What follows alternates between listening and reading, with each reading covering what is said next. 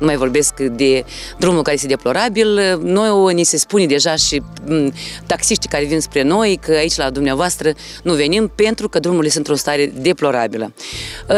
În luna uh, septembrie, 9 septembrie, mai, să fim mai, mai exact, am trimis o petiție colectivă din partea locatarilor din acest cartier către domnul primar. Suntem deja pe final de luna octombrie și noi nu avem niciun răspuns la această petiție colectivă în care s-au înregistrat peste 200 ceva de locatari. Мы живем семьей уже 25 лет в этом районе.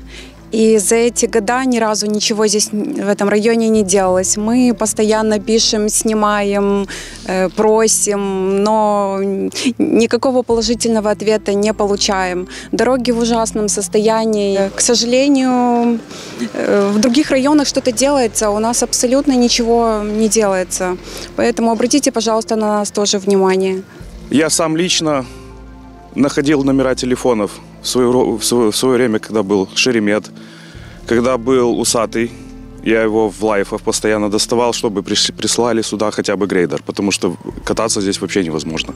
Неоднократно дети постоянно падают, потому что тротуары скошенные к центру дороги. Очень сильно скошенные.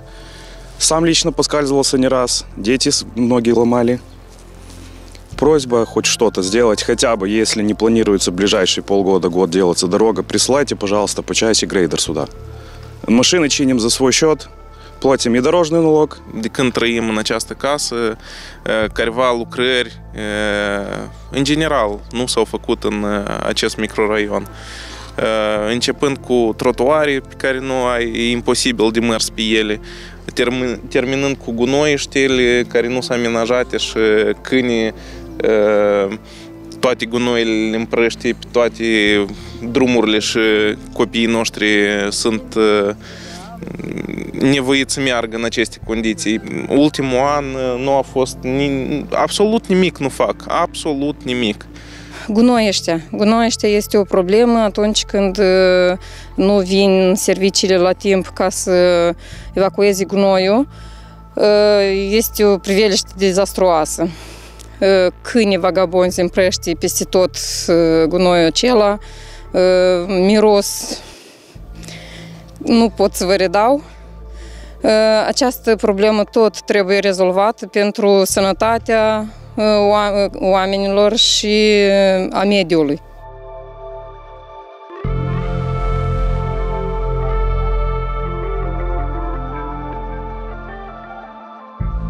Pe strada Crălov nu este posibil ca să fie făcut uh, drumul asfaltat.